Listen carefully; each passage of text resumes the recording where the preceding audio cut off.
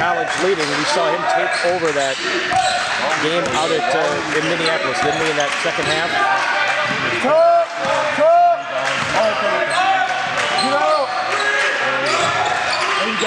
Sean Walker with a quick first step goes to the basket, one hands at home. Coach